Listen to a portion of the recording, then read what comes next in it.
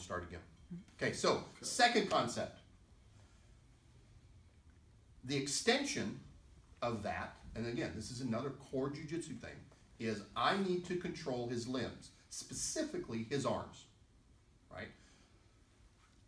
Because if um, if Michael is going to pass my guard, how is he going to do it? What does he need to really do it? Is his arms. If he manages to open my guard and he goes, I'm going to leg lock you, what does he need to do to leg lock?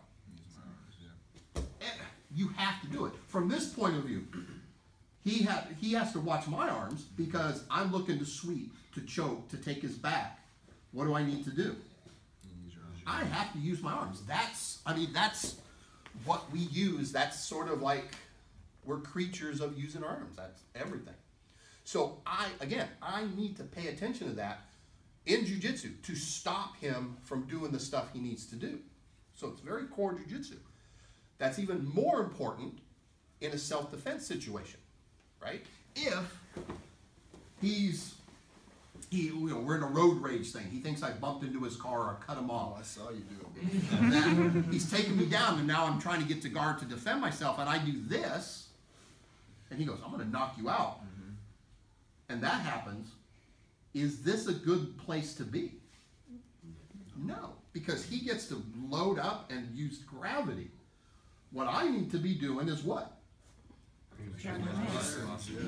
It doesn't. Uh, that's not a magic tool. It doesn't mean I can keep him from doing anything. But it's going to be harder for him to load up that big elbow and drop it on me because at least I have that, right? If I worry about the potential for him having a weapon of any kind, gun, knife, screwdriver, whatever, how is he going to bring it into play? He's not going to reach in with his teeth, right? He's going to do with his hands. So if I have to worry, or I saw, or as I wrapped my legs around him, I felt, Felt it, yeah. I felt something around his waist. Oh, because here's the thing: where do you, anybody know where bad guys carry their weapons? Around their waist. Around their waist.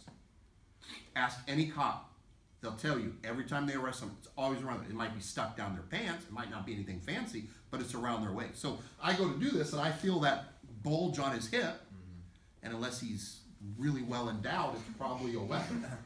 So I have to, I better worry about that instead of instead of going, oh man, he's got a gun and he's bringing it into play.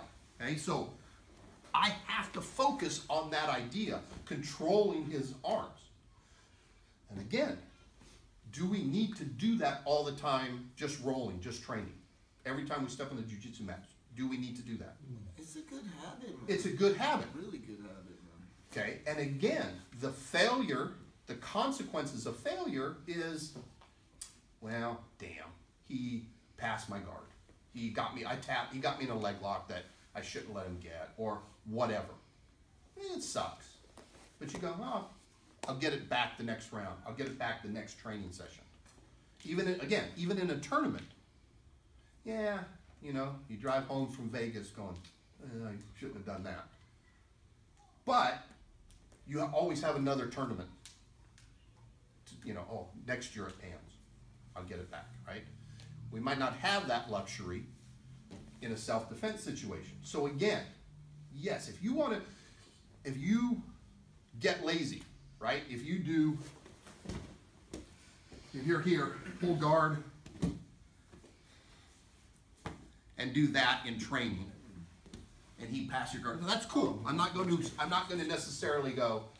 Don't ever do that. But again, make that mental switch in your head, saying, "Yeah, I know this isn't the best, but you know, man, I just don't have much left in the tank. So for now, for this round or the rest of class, I'm going to be a little bit lazier than I should be. But I know when I, when I should spend most of my time training with intent. Okay, does that make sense? Yeah. Okay, so we've got that idea. Minimize his control, maximize yours. Part of the one of the fundamental ways we do that is to control his limbs. Okay?